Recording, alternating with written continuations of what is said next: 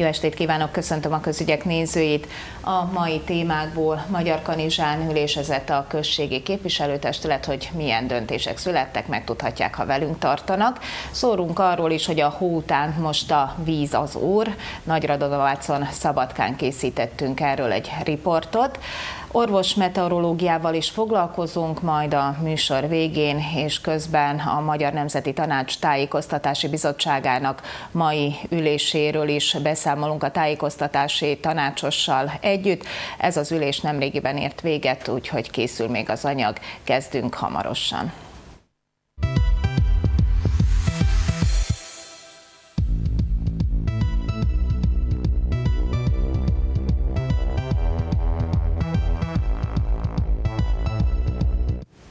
Több mint 30 napi rendi pontot vitatott ma meg a Magyar Kanizsai Községi Képviselőtestület. A stúdióban már itt van a KKT elnöke Katkit Zoltán. Jó estét kívánok! Előtte azonban Sándor beszámol arról, hogy mi is eh, szerepelt napi renden, például a 2020-ig terjedő fejlesztési stratégia is és az önkormányzati alapítású intézmények munkaterve. Több mint 30 napi rendi ponttal foglalkozott mai ülésén a Magyar Kanizsai Községi Képviselőtestület. Több rendeletmódosítás mellett elfogadták az önkormányzati alapítású intézmények idei munkatervét, valamint a község 2011 és 2020 közötti időszakra vonatkozó fejlesztési stratégiáját. A képviselők egyhangulag támogatták azt, hogy a Horgosi Severna Solarna Elektrana Kft. 7%-os üzletrészét térítésmentesen az önkormányzatra ruházzák át a 4 millió eurós beruházást egy magyarországi cég valósítja meg. Ehhez egy nagyon tőkeerős magyarországi partnert sikerült találnunk az SVR Bau Consulting Kft. személyében. Ők egy osztrák és német háttérrel bíró cég, amely vállalta azt, hogy Horgos területén teljes finanszírozásban, tehát önfinanszírozásban egy 2,1 megawatt névleges teljesítményű naperőmű fog kiépíteni. A beruházó cég is az önkormányzat nagyon fontosnak látta egy oktatói központ létrehozását is e beruházás kapcsán. A gyakorlatban kevés példát találunk arra, hogy a befektető tulajdonrészt kínál fel az önkormányzatnak mondják az illetékesek. A beruházó nagyon fontosnak látta azt, hogy a projektum megvalósulásának folyamán egy úgynevezett hátteret biztosítson saját magának, ezért is ajánlotta fel részünkre ezt a 7%-os üzletrészt, hiszen az engedélyeztetés folyamán az állami intézményeknél, szerveknél nagyon fontos az, hogyha egy projektumban egy önkormányzat is szorosan együttműködik, szívesen fogadják. A Kanizsa Sport és Turizmus Kft. megalapítását csak a hatalmi koalíció képviselői támogatták. Szeretné integrálni, összefogni Kanizsa község minden kapacitását úgy a turizmus, mint a sportturizmus területén, és valamilyen szempontból ezt nyereségesen működtetni. Egy konkrét szálloda most kerül megnyitásra közeljövőben, és ennek is kell egy működtető cég. Az elképzelésünk szerint Kanizsa községen kívüli városokból országokból várunk vendégeket, tehát nem szeretnénk csak a községi pénzre fektetni a hangsúlyt községi budgetra, hanem igyekezni fogunk tényleg turizmus csinálni Kanizsán, tehát azt jelenti, hogy minél több külső használót, úgy sportklubokat, mint vendégeket bármilyen részén a turizmusnak szeretnénk itt Kanizsán látni. Az ellenzék, azaz a demokrata párti képviselők szerint a sportszövetség és a turisztikai szervezet mellett semmi szükség egy hasonló tevékenységet folytató cég megalakítására. A sportszövetség és a turisztikai szervezet teljesen más feladatkörrel rendelkezik, ők inkább a marketing részével foglalkoznak, már a turisztikai szervezetre gondolok a turizmusnak, viszont a sportszövetség pedig egy civil szervezet, ami összefogja a klubokat, tehát tehát a civil szervezetként nem, talán nem is jogosul, de nem is az a tevékenysége, hogy edzőtáborokat szervezen és segítse a kluboknak a tevékenységét ezzel, úgy, hogy a saját létesítményeket jobban ki tudják használni, esetleg még pénzt is tudjanak bele megvalósítani. Az ülésen döntöttek a Magyarországi Tata és Magyar Kanizsa testvérvárosi kapcsolatainak felvételéről is. Egy olyan együttműködést koronáztunk meg ezzel a határozattal, amely évek óta már működik, élő, és akár a sport, akár a művelődés, akár az oktató, oktatás terén igen eredményes. A tatai gyerekek történelem vetélkedőn vettek részt ott Tatán, és a délvidék volt a téma, többek között Zenta, Kanizsa történelme, és a legeredményesebb diákok utána meglátogatták Magyar Kanizsát, és pár szép napot itt töltöttek, és megismerkedtek a vidékünkkel. A testvérvárosi szerződés megkötésével az anyaországi település Magyar Kanizsa tizedik testvérvárosa lesz. Magyar Kanizsa egyébként hét magyarországi településsel tart fenn ilyen típusú együttműködési kapcsolatot. vagyonadóból befolyó eszközöket a helyi közösség a stúdióban tehát Katkics Zoltán, a Magyar Kanizsai Községi Képviselőtestület elnöke. Jó estét kívánok még egyszer. Kezdjük ezzel a Kanizsa Sport és Turizmus Kft-vel. Ugye az ellenzék azt mondta, hogy ennek nincs éppenséggel létjogosultsága Magyar Kanizsán. Önök úgy látták, hogy igen, miért? Igen, igen. Tisztelettel köszöntöm a Pannon Televízió nézőit, valamint munkatársait is, és köszönöm a lehetőséget, hogy itt a mai ülésről nyilatkozhatok. Igen, megtartotta a 31. rendesülését a Kanizsai Képviselő Testület, a 29 képviselőből 25 jelen volt, tehát döntésképes volt, és az egyik igen vitatott napirendi pontunk a Kanizsa Sport és Turizmus nevű KFT. Pro és kontra, mik hangzottak el? Hát egy kis bevezetést szeretnék mondani. Ugye önkormányzatunk elhatározta azt, hogy a sportot kihúzzuk a méltatlan helyzetéből, ami hosszú évtizedekre visszanyúlóan volt, és ehhez az első lépésként megtettük azt, hogy mindjárt az első évben, tehát 2008-ban, azaz a 2009-es költségvetésben már abban nyilvánult meg, hogy négyszeresére emeltük a sportnak a támogatását. Igen, amely, jelentős összegeket láttak elő erre Igen, célra. 16 millió dinárra emeltük fel. Ebbe a sportklubokat, a sportszövetséget támogatjuk föl akarjuk fejleszteni, ugye a lényeg az, hogy épp testben épp lélek, tehát a fiatalok, a gyerekek ne otthon görnyedjenek a komputer és a televízió előtt, hanem minél többet szabad levegőn szaladjanak, sportoljanak az egészséges életmód És ehhez párosul még a turizmus, hiszen Magyar Kanizsa is ebből szeretne profitálni.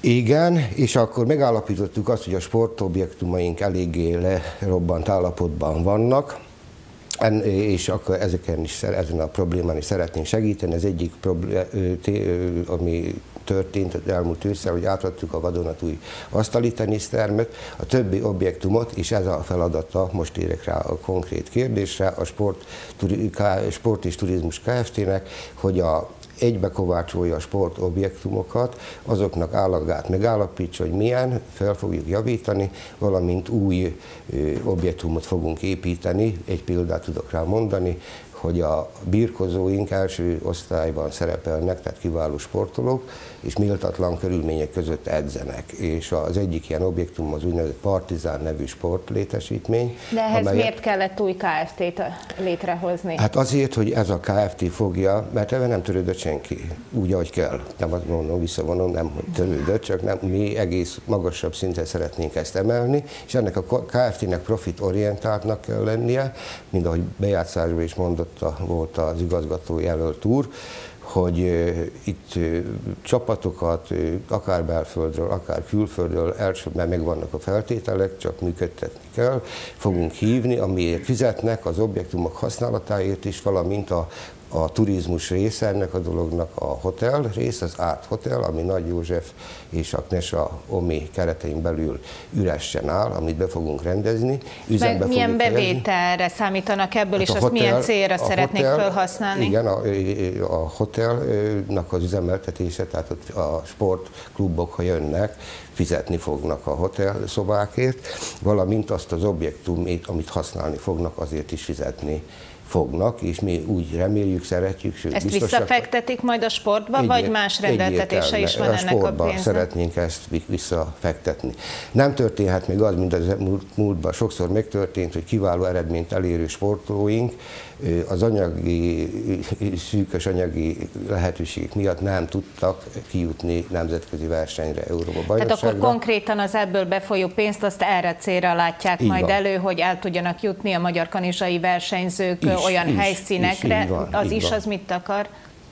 Hát valamint a, a kluboknak még több pénzt juttatni, hogy a minőségi edzésmunkát tudjanak folytatni a gyerekekkel, és ha valaki a csúcsra tud jutni, ne az miatt, hogy nincs anyagi fedezet a dolognak, ne maradjon otthon. Tehát jusson ki, ha Párizsba, ha Münchenbe, valami nemzetközi És az ellenzékkel miért nem tudtak szót érteni ebben a témában, ön hogy látja? Hát nagyon röviden fejtették ki véleményüket, ugye össze, tehát ha van az a sportszövetségünk, Magyar Kanizsán, tehát hogy ők úgy gondolják, hogy a sportszövetség ezt a feladatot el tudja látni. A sportszövetség nem Önök az, úgy gondolják, hogy nem? Úgy gondoljuk, hogy nem, és ezt a zűrt, ami jelen pillanatban érzünk, hogy van, ezt fogjuk ebből a KFT-vel pótolni. pótolni. Én úgy gondolom, hogy ez, a, ez, ez, ez egy jó döntés. Lehet, hogy nem tetszik, de az idő, én biztos vagyok benne, hogy minket fog igazolni.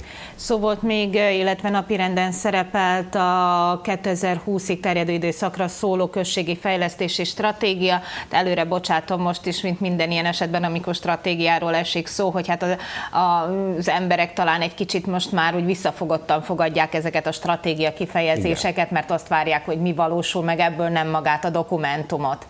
Igen, egyetértek ezzel, ugye türelmetlenek vagyunk mindannyian, szeretni velem együtt, én, én is azt szeretném, hogy tényleg megfogható, kézzelfogható eredmények is történjenek, de ehhez, hogy ez megtörténjen, ugye több föltétel van, kell egy megfelelő stratégia, amely egyrészt a szerb államnak a követelményeivel is egyezik, és egyezik, valamint az uniós követelményekkel is. Ez a kettő össze van hangolva, hosszú évek munkájának a szüleménye ez a stratégia, mondhatnám azt, hogy társadalmi és politikai konszenzus alapján született meg. 13, és melyek az alap igen, 13 munkacsoport, valamint 50 négy-öt szakember dolgozott rajta éveken keresztül, tehát alapos munka. Én úgy gondolom, hogy ezek után nyugodtan lehet fordulni a szerb kormányhoz is, valamint az unió felé is. Mert Tehát a megvalósítása az lényegében az állami, illetve uniós pénzek függvénye? Hát egyrészt igen, persze, természetesen függvénye, és nem is tudom, mit is szerettem volna ebben kapcsolatban mondani, hogy, és valamint közvitán is volt, ami az azt jelenti, hogy a Kanizsa honlapján, vagy aki bejött a Városházára, megnézhette ezt a stratégiát, véleményét elmondhatta, ajánlatokat. az emberek a Igen, visszajeleztek, uh-huh. és be is lett integrálva ebbe a stratégiába. Tehát a részletekben nem szeretnék belemenni, mert több száz oldalas anyag, de nyolc napon belül a Kanizsa honlapon, azon belül a hivatalos lapunkba megtalálható lesz, mindenki megnézheti a neten keresztül. És Én csak ez... arra kérem, hogy így felsorolás szintjén melyek azok Igen, az hát a, a társadalmunk minden szegmentumát fölöleli, gazdaság, mezőgazdaság, kultúra, oktatás, sport, környezetvédelem, kommunális És ezek közül mi jelenti majd a prioritást? Hát, Vagy bármi, amire szerintem, támogatás szerintem mindegyik, lehet találni mindegyik nagyon fontos, én a személyes, amit szeretnék természetesen a gazdaság, a munkanélküliség csökkentése érdekében, valamint tehát a szívügyem a sport, azt szeretnék már jó minőségi versenyeket látni Kanizsán is napirenden szerepelt, szerepelt még az önkormányzati alapítású intézményeknek a munkaprogramja, munkaterve. Ugye hát itt is többet például az Információs Fejlesztési Központ, az Idegenforgalmi Szervezet, vagy éppen a Szociális Védelmi Szolgáltató Központ. Hát azt hiszem, hogy az idő rövidsége miatt mindegyikre nem tudok úgy részletesen rátérni. De mondjuk a szociálisat, ez a, érdekli az embereket. Igen, a szociális napirendi, szociális témával kapcsolatos 18. napirendi pontunk volt ez. Hát azt szeretném ezzel kapcsolatban mondani, hogy személy szerint én is erre nagyon büszke vagyok, mivel nekem volt szerencsém aláírni annak idején Belgrádban a támogatást, tehát az anyagi támogatást, amit a minisztériumtól nyertünk, a, ennek a Szociális Védelmi Szolgáltató Központ felújítására és berendezésére. Úgyhogy a, a, a, a nagyon alacsony szintről most egy nagyon szép vadonatúj kultúrát körülmények között működő kis intézmény. Ez a központ, ahol előtte volontőr alapon, ma pedig már fizetett főállásban dolgozó uh-huh. kiváló szakemberek vannak, 32 gyereket kell foglalkoznak, és ennek a részletes munkaterve programja, hát az igazgatónő prezentálta írásba is, szóba is, a képviselőknek is mindenki egyhangulag elfogadta ugye a fogyatékkal élő gyermekeknek a a társadalomba való beintegrálása a fő tevékenysége, úgy leegyszerűsítve ennek a, az intézménynek. Még egy gyors választ kérnék a regionális szakmai pedagógus továbbképző központ idei munkatervével kapcsolatban néhány alapinformációt, hiszen ez a pedagógusok számára fontos. Igen, ugye két évvel, alap, azt hiszem, két évvel alapítottuk meg, igény mutatkozott rá, mivel azt hiszem, abban az időben három-négy helyen nyitottak Igen, erről szerte. beszámoltunk, de most mi várható? Most ennek a fő vívmány ennek a központunknak az, hogy magyar nyelven, tehát magyar pedagógusoknak a munkáját, továbbképzését könnyíti meg, nem kell Belgrádba vagy Csacsákra uh-huh. utazni, hanem itt Kanizsán is meg lett, nem csak kanizsaiaknak, hanem a környékbelieknek is, anyagilag is olcsóbb, és nagyon kiváló visszajelzés a tanárok, pedagógusok felől pozitív, az elmúlt két év tapasztalatai alapján nagyon minőségi, jó előadások hallottak, tehát nem csak a törvénynek tettek eleget, tehát a pontgyűjtés érdekében, hanem tényleg szakmailag is tovább fejlődtek. És ez folytatódik idén És ez tovább. folytatódik magas szintre és magasabb szintre fogjuk még ezt is felfuttatni, hogy így mondjam, hiszen a mai napi rendi pontok között egyik egy épület megvásárlása volt, amit szintén a svájci kormány támogatásával fogunk felújítani, ahol egy új dimenziót kap ez a központ, ez a pedagógus tovább központ, tehát sokkal nagyobb lehetőségek, nagyobb horderejű munkát lehet majd ott Odafigyelünk majd erre, és beszámolunk igen, majd igen, róla. Köszönöm, igen. hogy itt volt. Én is köszönöm a meghívást és a megtiszteltetést.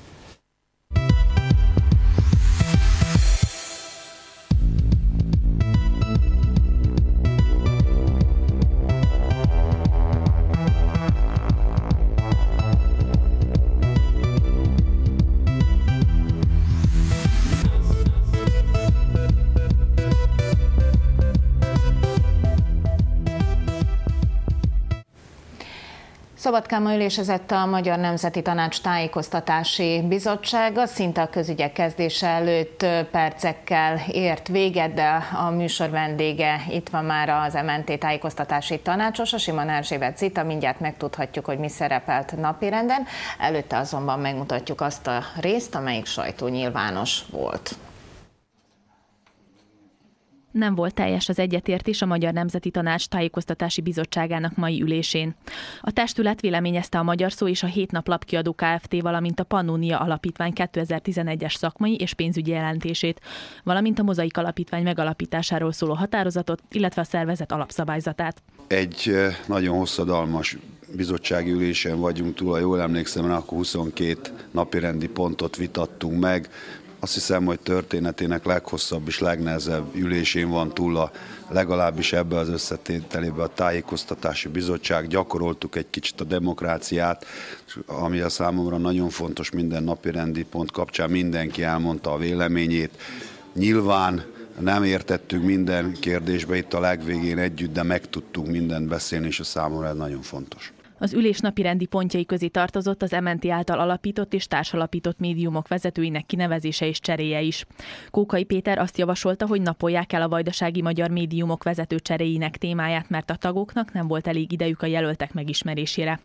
Javaslatát hárman támogatták, hárman tartózkodtak, heten pedig ellene szavaztak. Így folytatódott az ülés. Kókai viszont tüntetőleg távozott a helyszínről. A tájékoztatási bizottság többi tagja végül támogatta a jelölteket. A testület a hét nap főszerkesztőjének Tomek Viktor újságírót, igazgatójának pedig László Editet, a Livka Art mozi korábbi vezetőjét javasolta. A magyar szó szerkesztőségét a javaslat szerint továbbra is Varjú Márta fogja vezetni. Az igazgatói poszt pedig Dobránics Arankáé lesz, ha a február 29-i MNT ülésen ezt a javaslatot is elfogadják. Tavaly fogadták el a vajdasági magyar média stratégiát, amiben fekete-fehéren le van írva, hogy mit várnak el a hét naptól. Én nagyon remélem, hogy ezeknek az elvárásoknak mi eleget tudunk tenni. Igen, megbízott igazgatónak a magyar szó KFT-ben. Tehát számomra ez nagyon nagy megtiszteltetést jelent, és remélem, hogy a Magyar Nemzeti Tanács ki fogja szavazni ugye a jelölésemet.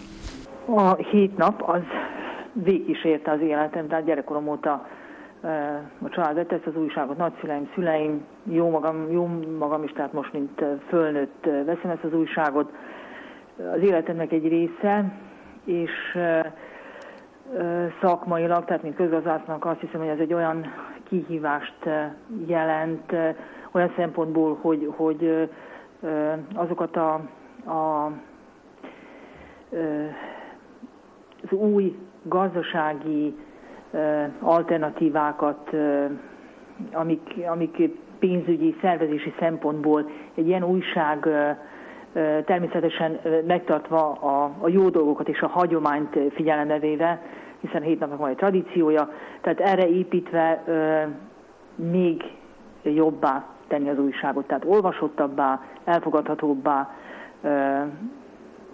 közelebb hozni az olvasókat a, az újsághoz, a lapterjesztés szempontjából is, is tenni dolgokat, a, az internetes megjelenés szempontjából is, és általában egy pici frissítést hozni.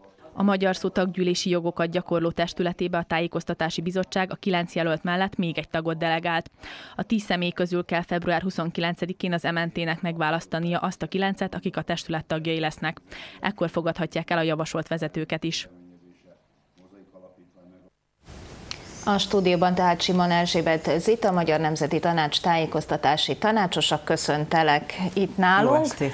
Jó estét, ha bár egy óra óta együtt töltjük az időt, hiszen jó magam is a tájékoztatási bizottságnak a tagja vagyok. Azt előre borítékolni lehetett, amikor a Vajdasági Magyar Média Stratégia megszületett, hogy mindaddig, amíg dokumentumba kell lefektetni bizonyos elvárásokat, elképzeléseket, addig talán e, egyszerű és zöggenőmentes folyamatról beszélhetünk ahhoz képest, amikor megkezdődik a megvalósítása, és itt most rögtön ugye e, szerepelt a média stratégiában, hogy a vezetőség csere, a fiatalítás, a média stratégiával való összehangolásnak van ugye egy határideje, most mikor ez kezd megvalósulni, akkor nem biztos, hogy olyan egyöntetűen tudunk dönteni. Ezért is húzódott az ülés. Igen, részben igen. Ez tulajdonképpen azt mondod, hogy borítékolni lehetett. Én gondoltam, korábban mégis ezen túlestünk, mikor annyit vitáztunk a média stratégia elfogadása, Igen, sőt, ott megalkodása előtt. Kapcsán és azt is. hittem, hogy ott már akkor letisztáztuk a bizonyos aggályokat, és azok, akik mellette szavaztak, és a végén elcsitultak a kifogásokkal, azok meggondolták, és akkor eltökélt szándékuk tovább vinni és megvalósítani illetve cselekvőképessé tenni a leírtakat, a stratégiai célokat, a programokat. Nos, lám nem úgy van, hanem mikor eljön az ideje, hogy ö, ö, valakik akkor vállalják azt a cselekvést, a feladatot, akkor mégis visszakoznak ilyen-olyan okokból kifolyólag. Ez történt ma, és akkor én hiszem, hogy ebből kifolyólag támadtak az aggályok, némi tiltakozás, vagy nevezzük aminek, vagy vagy félelem, elsősorban félelem az újtól, az idegentől, az újítástól.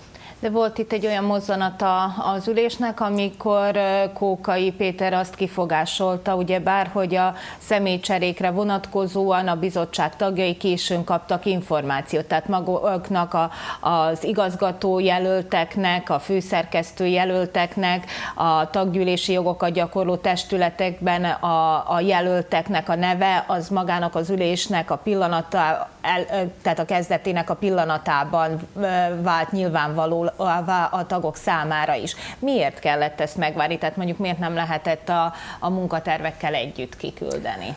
Hosszas egyeztetés előzte meg ezeket a névsorokat, elkészültük előtt a háttérben. Éppen az ilyen fölösleges viták és, és ellenkezések elkerülése véget gondolom került sok arra, hogy nem a nagy nyilvánosság előtt történt a licitálás azután meg nem is egyszerű tisztségekről van szó, nem is egyszerű feladatokról van szó, részben érzékeny témákról van szó, és mondom, hosszas ö, egyeztetés előzte meg, úgyhogy gyakorlatilag ö, tegnap este, tegnap éjjel állt össze az egész lista a szükséges adatokkal együtt, hogy kinyomtatásra kerüljön, mert azért nem elég csak kitalálni uh-huh. a mhm. neveket, ö, azokat mégis ö, konzultálni kell, és bizonyos életrajzi adatokat, szakmai adatokat begyűjteni, és megfelelő módon prezentálni azoknak, akik erről döntenek. Ez Úgy érzed most is, hogy ez jó döntés volt? Tehát például akár ma reggel is megkaphattuk volna ezeket az anyagokat, és akkor lehet, hogy nem merült fel volna egy ilyen kérdés, hogy miért abban a pillanatban kaptuk meg, ahogy ugye leültünk a ülés kezdetén. Lehet, őszintén szólva, ez az egyik.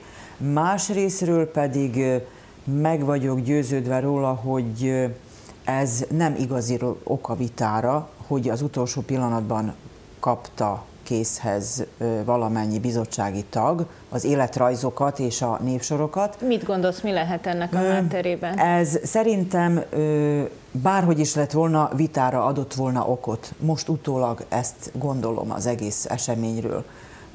Mindegy, Gondolod, hogy... hogy akkor magukról, a jelöltekről folyt volna a vita, és nem Igen. a módszerről? Persze, biztosan vannak olyanok, akik találtak volna bármit, amiben bele lehet kötni, csak azért, De a Magyar Szó volt főszerkesztője, Kókai Péter, ugye miért gondolod, hogy bele kötött volna abba, hogy most Most én személy szerint tényleg nem uh-huh. tudhatom, és nem beszélhetek más nevében olyan biztosan, hogy tudjam, hogy ő mit tett volna, vagy cselekedett volna, hanem általánosságban mondom, az a meggyőződésem, hogy akárhogy is van, ha egy héttel előbb is kiküldtük volna, akkor is vita támadt volna, ha nem a, ö, generálisan az egész névsor körül, a módszer körül, akkor esetleg egy-egy jelölt körül, vagy miatt bizonyos érvek felsorakoztatásával, most valós vagy vélet. A magyar szó kapcsán elhangzott, amikor a magyar szó új vezetőségéről beszéltünk lenne az ülésen, hogy miért nem az a menete ezeknek a kinevezéseknek, hogy maguk a taggyűlési jogokat gyakorló testület tagjai vitatják meg első körben ezt a kérdést, és teszik meg a javaslatukat, ahogy például a magyar szónak az alapszabályzatában, statutumában is szerepel ez? Ö, összetett ez az egész eljárás is a kérdés. Ö, tulajdonképpen már nagyon szorított az idő, azt tudjuk mindannyian. De azért mondjuk el, ugye, hogy a magyar szónak például az igazgatója...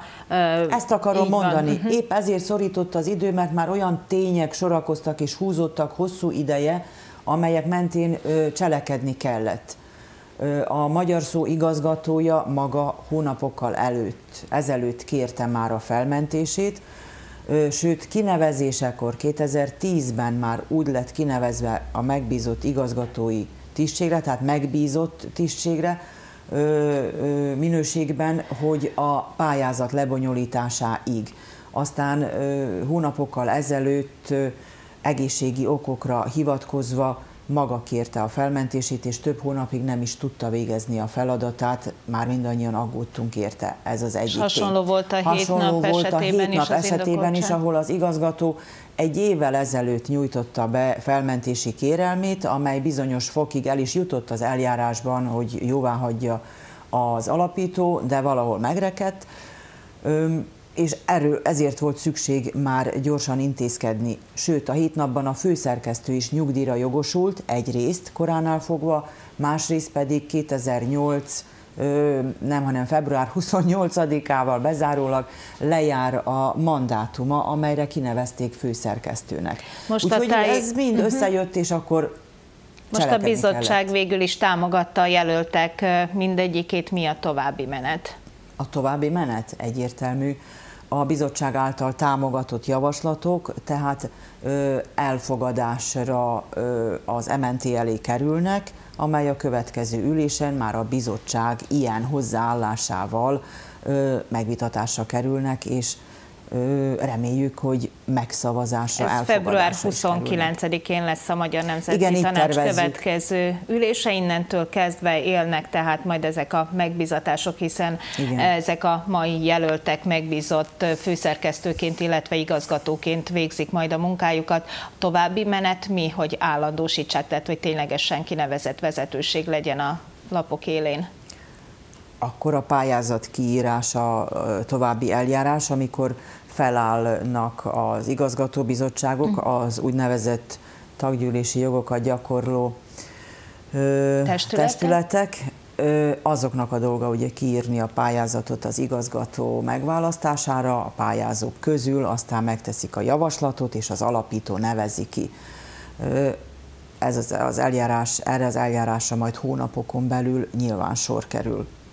Amiről még szó volt a mai bizottságülésen, az a Magyar Szó a hét nap, illetve a Pannon Alapítvány, a Pannon RTV éves munkaterve, illetve a tavalyi jelentéseknek a megvitatása. Tavalyi évet most hagyjuk, én inkább az, azt szeretném, hogyha arról beszélnél, hogy mi várható a Magyar Szó a hét nap, illetve a Pannon TV vonatkozásában, milyen újítások a média stratégiával összhangban mind a három médiumot illetően a média stratégiában megfogalmazott feladatok az elsődlegesek. A magyar szó és a hét nap, napi, illetve heti lapra vonatkozik elsősorban az, hogy megújult arculattal, megújult tartalommal igyekezzen népszerűbbé tenni önmagát, és megújult honlappal csak úgy, amiről hallottuk már az igazgató, az egyik igazgató jelölt is beszélt, hogy a eladott példányszám növelésével, amelyre ugyancsak a média stratégiában van vonatkozó célkitűzés és program, kifizetőtőbb és, és jövedelmezőbb legyen a Magyar Szó Lapkiadó Kft. és a Hétnap Lapkiadó Kft. Ami a Pannon RTV-t illeti, ott pedig elsősorban a hálózatépítés a legfontosabb cél. Ez az az intézmény, ahol mi elkezdtük még tulajdonképpen a médiastratégia elfogadása előtt annak megvalósítását, és, és az erőpróbálgatást, és folyamatosan ezt tesszük, és azt hiszem, hogy ez amennyire a legnehezebb, annyira a legdinamikusabban fejlődő, és úgy néz ki, hogy a leghamarabb megvalósítható célkitűzés így generálisan, mert amint halljuk és hallom, a média hálózat kiépítése mentén már az első lépések megtörténtek a gyakorlatban és papíron is, szerződéskötések újjá. Ez látszódik a műsorainkon a műsor is, megújul, tartalmasabb, és ami nagyon érdekes, egyre több véleményt hallani, egyre több ember mond véleményt a Pannon TV műsoráról, de már szóba kerül a rádió is, és az az érdekes, hogy van, aki dicséri, van, aki szidja, tehát pro De és nem kontra, hagy hidegen senkit, azt hiszem, negatív, hogy ez a fontos. Igen, az a fontos, hogy beszélnek róla, beszédtéma, és a közügyekben is téma lehet. Fontos még az is, hogy miből gazdálkodnak majd az MNT által alapított, illetve társalapított médiaházak mit tudsz ígérni nekünk, meg a magyar szónak, meg a hétnapnak? A napokban emlegetve volt az, hogy az anyaországban nyilvánosságra került a, a kiemelt nemzeti Jelentőség, jelentőségű van. intézmények Köre, jegyzéke, ide belekerült és a benne Pannon RTV, van a, így van. Igen, benne van a Pannon RTV is, amely akkor normatív úton, tehát magától értetődően, előző megbeszélések alapján bizonyos összegű támogatásban részesül. Ez a működésre fog érkezni a pénz, amelynek utalási folyamata már megkezdődött, megtettük mindazt, amit tőlünk elvártak, az MNT-ben is és a Pannon RTV-ben is, hogy a folyamat mi hamarabb elkezdődjön, és a támogatás minél előbb megérkezzen. Minél előbb megérkezzen. De ezen kívül más lehetőségek is vannak, gondolok itt a pályázásra. Az anyaországban ezen kívül pályázatok útján is lehet igényelni és megcélozni eszközöket, ahhoz még jelentős lobbizásra van szükség, ami azt hiszem, hogy be fog következni. Ugyanígy a, a nyomtatott sajtó, a magyar szó és a hét nap is megkapja a, a neki járó támogatásokat, az van az idei évre tervezve, hogy ugyanolyan mértékű támogatásokat kapnak normatív úton, mint tavaly, tehát nem kevesebbet. Az nem elegendő fejlesztése? a fejlesztése és a működésre, ahhoz még hozzá kell keresni bizonyos összeget már a föntartásra is, ha fejlődni akarunk, akkor meg még inkább fel kell gyűrni a gatyaszárat, és hozzálátni a munkához, a fejlődéshez, a, a népszerűbb megnyilvánuláshoz. Mármint hogy... cikkekhez, tartalmakhoz, igen, erre gondolsz? Igen. Köszönöm, hogy itt voltál. Nagyon szívesen, köszönöm a meghívást.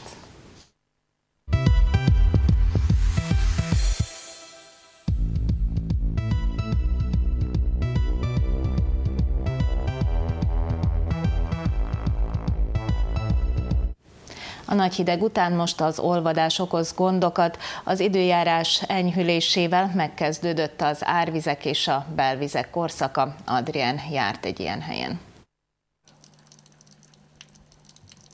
Olvad a hó, tavasz akar lenni. Így kezdődik az ismert magyar népdal. Ettől tartanak most a radanováciak. A hirtelen jött hóolvadás miatt ugyanis ismét nagy károkat okozhat a talajvíz.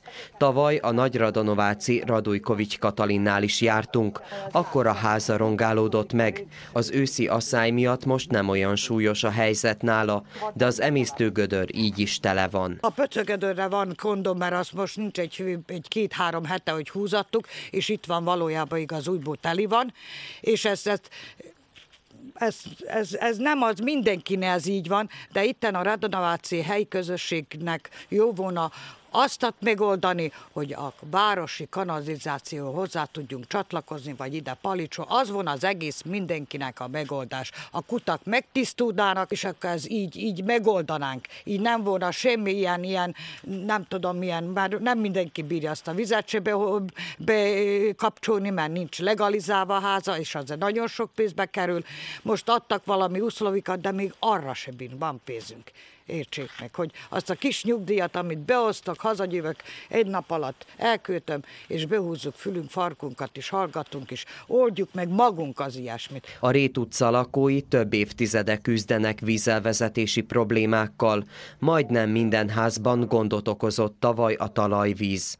Annyi ház összedült, hogy az, na, hogy valakit, hogy nem tudom, soha senkit nem érdekel, csak abban a pillanatban aztán megint. Úgyhogy... Mi lenne lesz? itt a megoldás egyébként? Hát kivezetni ezt az elvezető vizeket, nem tudom más, mit mondjak. rendszer hát kiépíteni? Igen, ki, kiépíteni, és akkor hogy valahol, nem tudom, valahol kéne valahol vezetni, mert így palicson köröztül megyünk, elzárják, mikor nálunk is van, mert ő náluk is akkor az van, és akkor... Tavaly egyébként mekkora kárja volt ez a, ez a talajvíz miatt? Ha mondjuk ez volt, ez kidült ez a fal, más annyira nem nagyon, de hát. Meg az egészet szigetelni kéne, tönkrement a szigetelés is, úgyhogy van. Csak pénz nincs, sajnos. Lassan a talaj elnyeli, de a hirtelen olvadás vonom mindannyian úsznak. Amit ezt ideglenes kanál is, ami lett csinálva, nagyon jó. Csak avval izéték el, hogy fönt a végén a Pálma utca sarkán, amit csináltak, zárt kanálist, 60 centivel most ennek az alapjától, tehát a lenti területű 60 centivel följebb van a cső, amiben folyik bele. Tehát innen nem bír elmenni. Volt ígéret, hogy megfogják az erdő alá levezetik, de tavaly leálltak, senki semmi, hogy most ez az új vezetőség, hogy mit fog csinálni nem tudunk róla. Mire számítanak, hogy az idén mennyire lehet itt áradás? Hát csak arra számítunk, hogy megen lehet, ugye? Könnyen, hogy vegyünk megen és még nagyon azt az egyet szeretnénk, hogy végigvezetnék itt. És megen a második az, hogy ki van ásva, de itt beparésodott, senki nem néz rá, megen ott leszünk, ahogy voltunk, hogy nem lesz hova menjen a víz. Abszolút nem törőnek a kanálisan, most már kéne mélyíteni. Ugye, mert innen megindul, megy arra. A paréval tele van, legjobb volna föl az erdőig, gondolom én. Nagy bajba voltunk tavaly, nagy bajba voltunk, de nagyon nagy bajba voltunk. Ugye még az idén nem fogott el, mert nem volt olyan. Nekünk a házig ben volt a víz, a pincéből nem bírtunk fűteni. Ha most hirtelen olvadás, ez biztos, hogy fél. Biztos, hogy fél a talajvíz. Ha most a... Az emésztő gödör látszik, hogy ez is egész magasan van a vízszint. Hát biztosan följön, biztosan. Biztosan, hogy följön. Úgyhogy WC-t nem lehet használni később. ha ez a hó elolvad, nem, nem, nem lehet használni biztosan. A helyiek szerint a problémáikra a szennyvízelvezető csatornarendszer jelentene megoldást. A Nagy Radonováci helyi közösség közgyűlésének elnök helyettese Szalai János azt mondja, Kevés a pénz. A tervek szerint idén egy 5 kilométer hosszúságú körgyűrűt építenének ki, amely a főbb utcákban húzódna. A beruházásra azonban még nincs meg a rávaló. A kisebb utcák csatornarendszerének kiépítésére pedig egyáltalán nincs anyagi forrás. Szabadka területén is még eh, tehát a zárt kanalizáció sok helyt nincs kiépítve. Egy Radonovácon, ahol eh, nagy területen helyezkednek el a házak, nehéz kiépíteni. Nagyon sokba kerül, remélem, hogy az is meg lesz, mi szeretnénk, ha minden utca kapna és minden háztartás kapna. De itt szétszórt házakról van szó, és távolságról van szó, ami nagyon sokba fog kerülni. És sajnos, mit mondjak, az igazat lehetőség gyorsan nincs rá, tehát pénzhiány miatt, mind ahogy tudjuk, Nagyobb városok és nagyobb települések is sajnos nem kaptak még kanalizációt. De a szennyvízlevezetésre, tehát nyitott kanálisokon nem mehet, szennygödrök tele vannak, ez probléma. De ha a nyílt kanálisok ki lesznek ásva és tiszták lesznek, én azt hiszem, hogy a vízállás lemegy, és használni lehet a szennygödröket. Tehát addig még nem lesz megoldva a kanalizáció, de törekszünk, hogy megoldjuk azt is az átkanalizációt. És idén körülbelül hány kilométer ilyen csatornarendszert építenének ki itt a tervekben, hány kilométer szerepel? Ez a 5 kilométerre szerepel most, ami ki lesz építve, erre megvan, tehát a rajz is minden megvan, csak pénzhiány van. Tehát mi ást kapunk pénzt rá, valamilyen alapból, bárhonnét a kiépítés elindul, és ez menni fog sajnos. De muszáj csinálni ezt a részt, a közelebbit, mert nincs ahol tovább folyni. Ha amarról építünk, tehát nem mehet el. Nekünk az a fontos, hogy még várossal is össze legyen kötve a kanál is ami a, benne van a kaszárnyai terbe, és szerencsére ez miatt az összeköttetést, a fővezetéket megkapjuk. Mikorra mondták ezt? Hát mit mondjak, az idén terve van, de hogy hogy folynak be a pénzösszegek, ez sajnos nem tudja senki. A Nagy Radonováci Rét utca lakói a hirtelen felmelegedéstől tartanak. A meteorológusok szerint ugyanis holnap akár plusz 10 fok is lehet. A helyiek abban reménykednek, hogy a további nagy mennyiségű csapadék elkerüli Radonovác területét, és nem ismétlődik meg a tavalyi belvízveszély, akkor ugyanis több ház megrodjant, de volt amelyik össze is dőlt.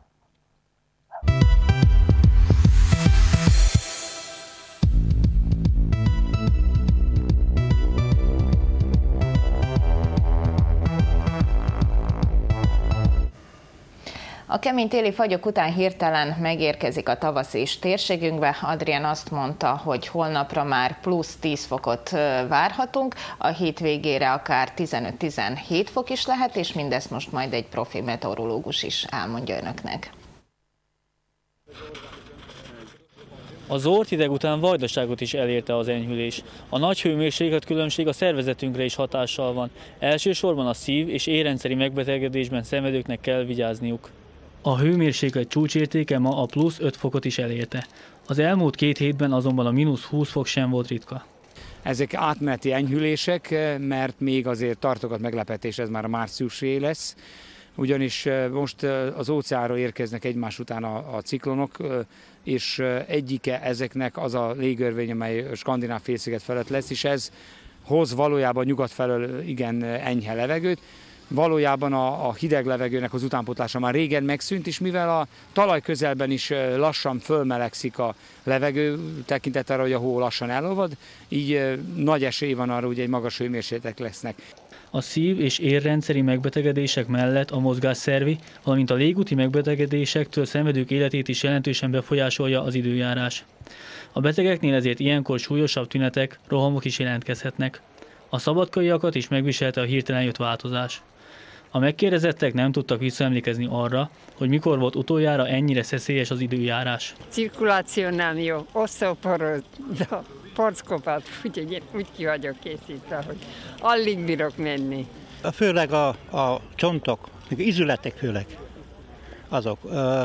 Emígy máskülönben nem a, mondjuk rá a szívkeringés, még az ilyenek az rendben van. Nagyon időseknek a szervezetét megviseli, vagy esetleg a túl fiataloknak, de szerintem ez a közép, meg fiatal korosztály annyira nem hinném, hogy ilyen megfázások persze ebből a nagy hidegből, meleg, és azt hiszi az ember, hogy nem kell annyira felöltözni, de nem hinném, hogy nagyon. Szerintem hozzászokunk, hogyha ez mindig így lesz. A sok napsütés közérzetünkre jó hatással van, immunrendszerünket is erősíti. Ugyanakkor szétszórtá válhatunk, és kevésbé tudunk egy konkrét dologra koncentrálni. Nagyszüleink korábban még igaz lehetett a népi bölcsesség, miszerint január, február, fú és havaz, úgy lesz tavasz. Manapság azonban úgy tűnik, az egykor jól működő népi megfigyeléseket megcáfolja a természet. A stúdióban pedig dr. Evejtovics Alexander orvos, visszatérő vendégünk. Hát itt ugye volt már a mi műsorunkban profi meteorológus is, most Huba egy kicsit orvossá is átalakult. Egyetért ezekkel a tünetekkel? Abszolút, igen, jó estét kívánok mindenkinek. Hát igen, több, több hetes ilyen kétszer, kényszer szobafogság után valahogy óvatosabban bátorodjuk neki a nagyvilágnak. Ez Pedig hát az ember úgy örül a napsütésnek, és csak menne, mennek ki a szabadba, nem szabad? Óvatosan? Ez a gond. Tehát, hogy mondjam, azok a krónikus betegek, akik már itt praktikusan el is, el is hangoztattuk őket, keringési zavarokkal, légzési zavarokkal, szívpanaszokkal, mozgási zavarokkal vannak, nagyon-nagyon óvakodjanak. Külön-külön nem tudom, van-e rá idő kitérnie a, a, erre a témára. Lehet de, nagyon de, röviden, de, igen. De a következőt ajánlanám. Azoknál, akiknél keringési zavarok vannak, rendszeresen szedjék a gyógyszereket, és már többször is említettem ebben a műsorban is, és máshol is, hogy az a bizonyos kardiopirin, vagyis aspirin protect, vagy az a, mhm. a, vagy az a közönséges aspirin, az, az, az, az legyen meg. Tehát az a keringés serkenti egyrészt. Másrészt hirtelen ne ugorjunk neki a nagyvilágnak. Két, két dolog miatt is kondíció nincs, tehát három hétig otthon mindenki, erre nagyon kell felügyelni. Most elnézést, így közbeszólok a napokban, ugye hirtelen nagy főmelegedett, én is gyorsan biciklire pattantam, és mondom, majd haza biciklizek, és hát a nyáron az egy semmi táv volt, most meg hirtelen én is úgy éreztem, hogy hát nagyon-nagyon messze lakom, és kicsit nehezebben tekeri az ember a biciklit. Tehát kondíció nincsen, uh-huh. léghőmérséklet teljesen más, az oxigén koncentrációja sokkal gazdagabb most, hogy is hívják, hideg időben, de erre a szervezetet hozzá kell szokni. Tehát ezt az adaptációs periódust adjuk meg. De Milyen nem hosszú kell... ez az adaptációs periódus? Hát igen. Tehát egy, egy minimum két-három napra, épp egészséges embernek minimum két-három napra van szüksége rá, de a kronikus betegségben szenvedő emberek legyenek türelemmel legyenek türelemmel, várjuk ki a tavaszt, mert ez még nem biztos, hogy tavasz, uh-huh. hogy hónap plusz 10 fok lesz, az nem azt jelenti, hogy hónap, hónap jönnek a fecskék. Tehát én mindenkit óvatosságra intenék, és a legfontosabb az, hogy szedjék rendszeresen a, a terápiát. Amennyiben változások vannak, olyan változások, amelyek, amelyeket már észleltek, és nem múlnak el néhány órán belül, vagy 24 órán belül, természetesen keressék fel a, a, a, az orvosokat. Ilyenkor le kellene ellenőrizni néhány paramétert, amivel, ami azt jelenti, hogy lehet, hogy egy pillanatnyi terápia korrekcióra szóló rá az ember, vagy egy olyan korrekcióra, ami húzamosabb ideig tarthat.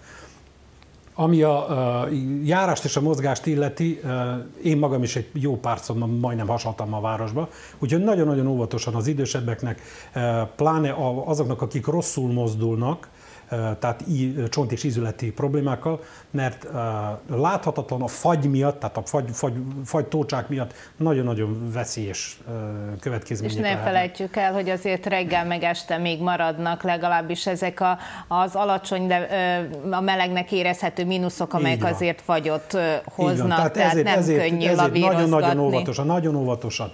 Akik pedig légzési zavarokban szenvednek, akiknél chronikus bronchitis van. A, legyen a zsebükben, hogyha ha már ki kell mozdulni, és kell is azért valamit mozdulni, eh, a, a terápia legyen a zsebében. A zsebében mindenkinek, tehát az a bizonyos életmentő pumpa, az ne, ne felejtsük otthon, legyen a zsebbe, mert az valóban a bizonyos pillanatban életmentő is lehet. De eh, minden esetre óvatosságra intek mindenkit, ha van idő és alkalomra, adaptációra, akkor csináljuk az udvarba egy, egy két és fél kört, és akkor induljunk meg a nagy, nagyvilágnak, mert avval valahogy az ember ki tudja mérni önerejét, és avval is mindjárt meg tudja állapítani, hogy milyen reakció van. Természetesen az azokra vonatkozik, akik ebben a szobafogságban voltak ebben az országban. Gyerekekre most fokozottan kell ügyelni, hát őket nagyon nehéz visszatartani, ahogy így hirtelen átmenetileg legalábbis illúzió szintjén kitavaszodik. Igen. Hát gyerekeknél egy nagyon érdekes dolog van. Tehát gyerekre nem lehet úgy ráfigyelni, tehát üvegbúr alatt senkit uh-huh. sem lehet tartani. Most következik az a periódus, aki, amit mindenki utál lényegében, mert ekkor jönnek a gyerekek taknyosan, nyálasan haza. Mivel kell vigyázni?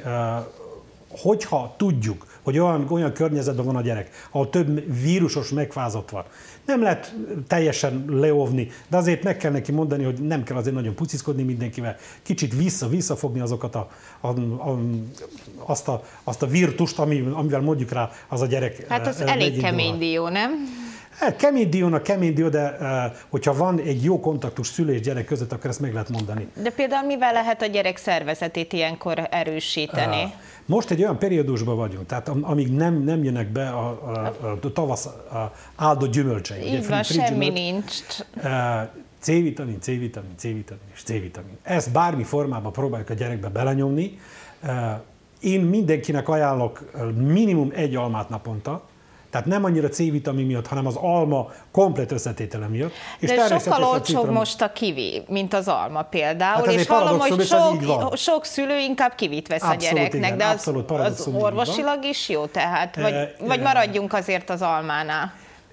Itt, itt van, egy, van egy filozófikus kérdés. Tehát mindenki, vagyis egy, egy, egy olyan, nekem egy olyan, olyan, olyan állásponton van, hogy uh, azt kell fogyasztani, amit a környék ad. Tehát mivel mi bácskajak vagyunk, hála jó Istennek. Ezért ne a kivit, hanem az almát, így van? Kivi olcsóbb. Tehát sajnos mi most nem úgy gondolkodunk, hogy most mi volna a, a, a, mondjuk rá a legpraktikusabb, hanem az, hogy mi a legolcsóbb. De a kivitől is még olcsóbb a közösségi C-vitamin közösségi C-vitamin ezekbe a pesgő tablettákba. A gyerekeket sajnos hozzá kell szoktatnunk eh, ehhez, mert eh, tudnivaló, hogy a, a étkezési mód és a, a, a, az, az étel kvalitás, amit fogyasztanak a gyerekek, sokkal-sokkal szegényebb, mint valamikor volt. Gondolok arra, hogy most már a, káposzta, a savanyú káposzta nem divat, pedig valamikor nagyon a divat volt, amiben egy rengeteg és hatalmas mennyiségű uh-huh. C-vitamin van. Tehát sok, sok olyan archaikus... Még azért kihívás a savanyúságot a gyerekbe belediktálni. Valamivel el kell, el kell maszkírozni. Tehát val, valamivel, valamilyen csiribú csiribá rá kell, hogy, hogy menjen, és a gyereket meg kell szoktatni. Tehát nincs olyan gyerek, aki szerintem, aki azt mondja, hogy ez nem jó, az nem jó, vagy, vagy az nem jó. Tehát ha rászoktattunk, és hogyha a környezete azt fogyasztja, és amit a környezetétől lát, ő azt viszi magával az életbe. Azt mondta a meteorológus, hogy hát még korán sincs itt, ugye a tavasz még visszatérhet a hideg, sőt akár még havazás is lehet, igaz, nem ilyen nagy hó, mint ami most az elmúlt időszakban volt. Mire ügyeljünk, ha visszajön a hideg? Megint erre a bizonyos adaptációra. Hogyha meglódul velünk a világ, ugye, megindul egy, egy, egy olyan egy átállási mechanizmus a szervezetbe, mert a szervezete nem tudja pontosan, hogy holnap után milyen idő lesz, hanem tudja, hogy most mondjuk rá plusz 8 vagy, vagy 10 fok van. Ahhoz mérten megindulnak a, a, a funkciók a szervezetbe, és úgy adaptálódunk hozzá. Vérkeringés, légzés, vérnyomás, levegő mennyiségnek a belégzése, és a többi, és a többi. Na most megint óvatosnak, tehát óvatos, annyira uh, oda kell figyelni, meg kell hallgatni a meteorológus, fel kell készülni. Most már hál', hál Istennek megvan az adottság, hogy tudjuk, hogy holnap után körülbelül mi lesz. Uh, felöltözni, ez az első dolog. A második pedig, ha jön ez a hirtelen hideg, nem kimenni. Megint megadni az időt arra, hogy hozzászokjunk ahhoz a mínuszhoz, de ez, ez mind időleges dolog. Türelem, ami türelem, nincs ki nagyon, kell, ki kell várnunk, ki kell várnunk azt a periódust, amikor stabilizálódik majd a majd az éghajlat, és a halaszthatatlan dolgokat is próbáljuk meg a szomszéddal elvégeztetni, amennyiben olyan a probléma, hogy, hogy krónikus betegség van, vagy egy, vagy egy, vagy egy, egy, egy, egy állandó és nagy mennyiségű orvos, orvosságfogyasztás. Köszönöm, hogy itt volt és mindezt elmondta. Nagyon, nagyon köszönöm.